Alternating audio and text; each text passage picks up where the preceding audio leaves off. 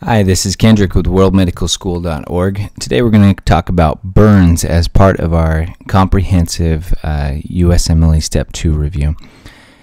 We're uh, looking for volunteers that want to help with this project. At the end of the video, we'll give you a link that you can follow to uh, get involved.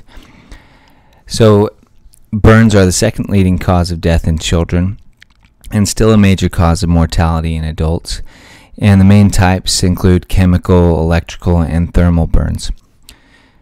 So, on your history and physical, the first thing that you need to assess is whether or not they are stable. So, their airway, their breathing, circulation, and um, then then we're going to get to how much of their body has been burned, and we'll talk about how to how to quantify that in a second. Make sure that you're thinking of things like cyanide poisoning and carbon monoxide poisoning. So those are, are very common, especially in closed spaces. So, first degree just involves the epidermis, and you can get a first degree from the sun, and uh, they're generally pretty painful, but they don't they don't give you blisters. A second degree includes a little bit of the dermis as well, and that's why you get the blisters, is because you get the uh, involvement of the dermis in that epidermal dermal layer. So the third degree, that's when you go through the dermis all the way and sometimes into the underlying tissues like the muscles. And you get painless, white, or, or charred areas. And the reason they're painless, of course, is because we burn the nerves. So to assess the area of the body, we use the rule of nines. So how much of the body has been burned, and we'll show you a little bit more about the rule of nines in one second here. And uh, some labs you might want to order include carboxyhemoglobin. But in general, we're not going to be waiting for this to come back anyway before we treat for uh, possible carbon monoxide poisoning. So uh, it's kind of just a confirmatory test. Chest X-ray uh, will help us to to assess how much uh, uh, damage to the airway we might have. So the rule of nines, just like I promised, is right here. Um, this bit breaks up the body into uh, into numbers divisible by nine. So each arm is nine percent of the body. The front of the thorax is eighteen percent, as well as each leg is eighteen percent. Then the back of the thorax is another eighteen percent.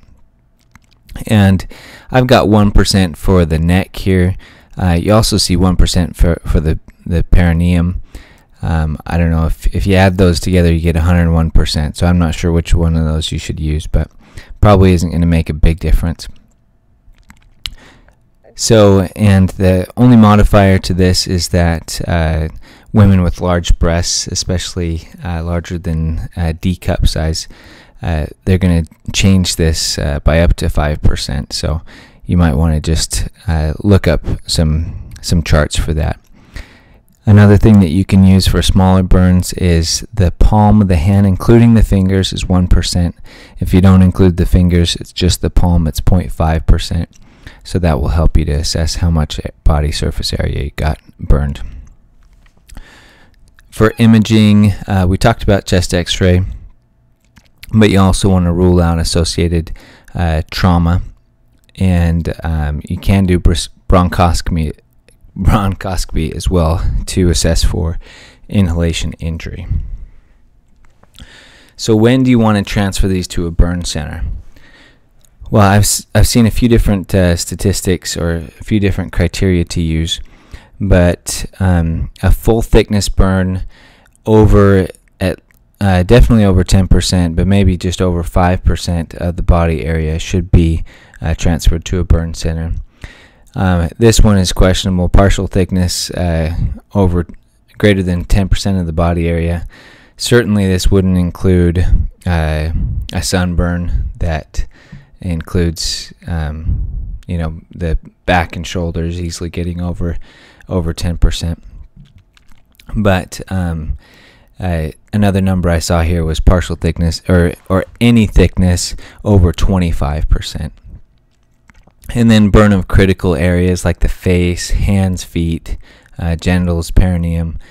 uh, you want to make sure that those are uh, taken care of at a burn center just to make sure that people are not disfigured and they don't lose function in those areas. High voltage and chemical burns should probably be taken care of at a burn center, and uh, those that are complicated by trauma or uh, serious um, inhalation injury should also be taken elsewhere.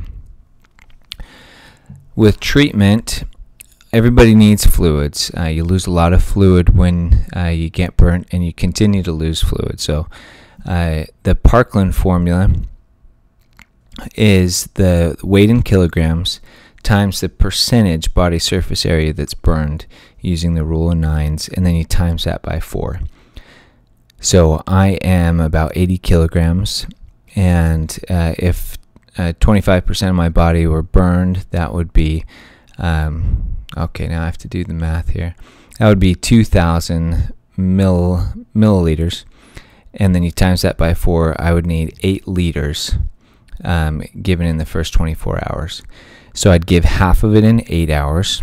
So in the first eight hours, I would get four liters, and then in the second uh, the second half, I would get over the next 16 hours. Of course, you want to make sure that you uh, treat the pain uh, and the anxiety that's associated with this. Uh, compartment syndrome is a serious challenge here. And So you may be need to be ready to do a fasciotomy to relieve compartment syndrome. And then wound management, uh, generally you, are going to want to debride the wounds. We'll talk about that in a second. Uh, cyanide is a real concern. Hydroxycobalamin or amyl nitrate, sodium nitrate, and sodium thiosulfate can be given. It sounds like uh, the new recommendations are starting to lean toward hydroxycobalamin alone. Um, that's what they've been doing in, in Europe for a while, and uh, it seems like the safety rating is really good on it. Carbon monoxide treat with 100% O2. Uh, rhabdo, make sure you're maintaining the urine output over 100 cc's an hour, um, and debridement is important here. So debridement uh, consists of getting rid of, of all the all the bad skin, all the dead tissue.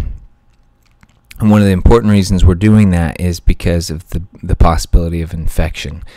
So, dead tissue is a great breeding ground for infection.